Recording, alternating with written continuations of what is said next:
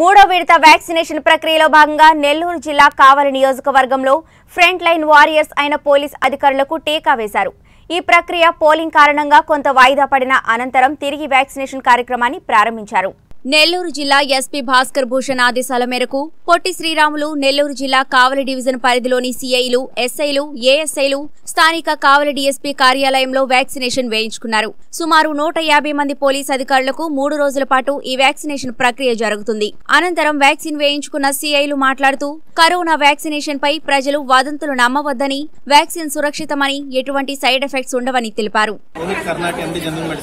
Nodal officer area hospital Kavali ఇక్కడ doctor Rajani madam PP unit Kavali తరఫున మేమిద్దరం ఇక్కడ ఎస్డిపిఓ ఆఫీస్లో ఈరోజు వ్యాక్సినేషన్ కార్యక్రమం అనేది స్టార్ట్ చేయడం జరిగింది. సో ఈ రోజు రేపు రెండు రోజులు మనకి టార్గెట్ ఇవ్వడం జరిగింది. ఈ రోజు నూట యాభై మంది రేపు నూట పద్నాలుగు మంది. సో మొత్తం కలిపి రెండు రోజుల్లో ఫినిష్ చేసేయాలని చెప్పి మాకు ఆర్డర్స్ వచ్చినాయి. ఈరోజు ఈ రోజు స్పెషల్గా ఏంటంటే కోవాక్సిన్ ఇస్తున్నాం ఇప్పటి వరకు కోవిషీల్డ్ ఇస్తున్నాం కావాలో. ఫస్ట్ టైం పోలీస్ డిపార్ట్మెంట్ నుంచి కోవాక్సిన్ ఇస్తా ఉన్నాము సో ఎటువంటి ఇబ్బందులు లేవు. పొద్దు నుంచి డిఎస్పీ గారు కానీ డిసిఎల్ గారు సిఎల్ అందరూ వేసుకున్నారండి ఎవరికి ఎటువంటి ఇబ్బంది ఏం లేదు. బాగానే ఉంది. సో కాబట్టి ఏంటంటే ఇప్పుడు పోలీస్ డిపార్ట్మెంట్ వాళ్ళందరూ ఈ టూ డేస్ టార్గెట్ ఫినిష్ చేసేసి రేపు నెక్స్ట్ మంత్ ఫస్ట్ కానీ సెకండ్ వీక్లో కానీ కామన్ పబ్లిక్కి మూడో దశ స్టార్ట్ చేస్తా ఉన్నాము. సో మూడో దశ పబ్లిక్ కామన్ పబ్లిక్ కాబట్టి అందరూ కూడా ఈ గవర్నమెంట్ ఫ్రీగానే వేస్తుంది వ్యాక్సినేషన్ అందరికీ కూడా. కాబట్టి అందరూ కూడా ఈ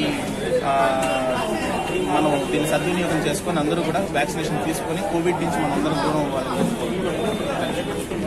చాలా సంతోషంగా ఉంది కోవిడ్ వ్యాక్సిన్ వేయించుకున్నందుకు. ఎస్పీ గారు ఉత్తర్వుల మేరకు ఈరోజు మా డిఎస్పీ గారు ఆఫీస్లో.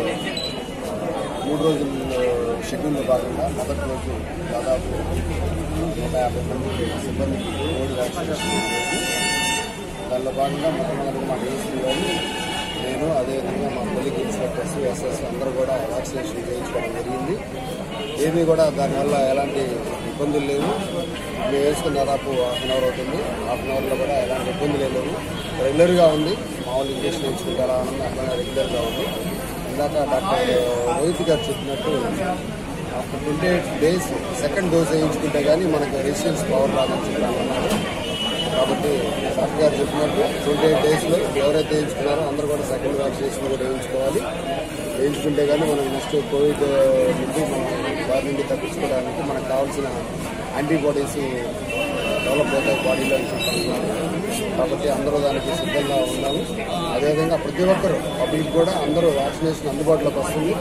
అందరికీ గవర్నమెంట్ అందుబాటులోకి తీసుకొచ్చింది కాబట్టి ప్రతి ఒక్కరూ ఏమి టైం వచ్చినప్పుడు షెడ్యూల్ షెడ్యూల్ ప్రకారం అందరూ ఎలాంటి భయం లేకుండా ఎలాంటి ఆ, ఆలోచనలకు ఎలాంటి రూమర్స్కి సాగివ్వకుండా అందరూ కూడా వ్యాక్సినేషన్ చేయించుకొని అందరూ మంచిగా ఆరోగ్యవంతులు కావాలని చెప్పి థ్యాంక్ యూ పోలీస్ సిబ్బందికి కోవాక్సిన్ వ్యాక్సినేషన్ సందర్భంగా ఫస్ట్ రోజు ఈరోజు మా డిఎస్పీ గారి ఆఫీసులో కోవాక్సిన్ వేయించుకున్నాను నేను కూడా. దీనివల్ల ఏదో సైడ్ సిమ్టమ్స్ ఉన్నాయని కళ్ళు తిరుగుతాయని వామిటింగ్ సెన్సేషన్ ఉంటుందని చెప్తున్నారు. నాకైతే ఏమీ లేదు. నేను రెస్ట్ కూడా తీసుకోవాలా వ్యాక్సినేషన్ నిలబడే ఉన్నాను.